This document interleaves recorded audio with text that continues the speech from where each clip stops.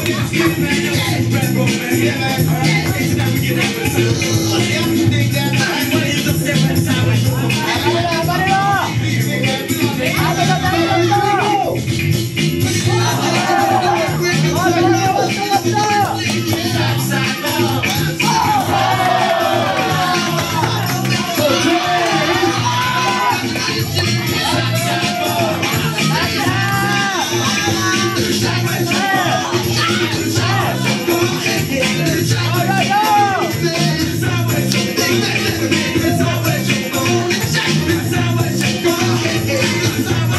Right now.